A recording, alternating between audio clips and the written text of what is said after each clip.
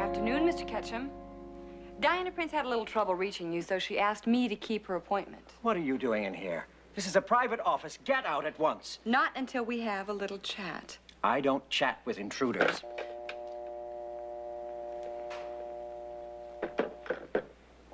All right.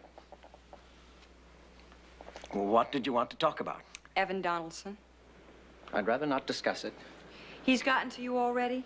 No, no one has gotten to me. You, you didn't hear me say that. Mr. Ketchum, unless someone stands up to this man, he'll have your whole town bought before you know what's happened. I don't know what you're talking about. I think you do.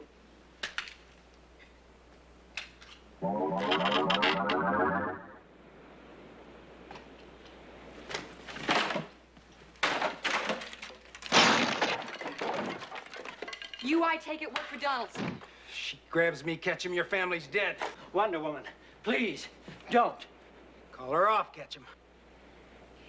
I can't let him go. You have to.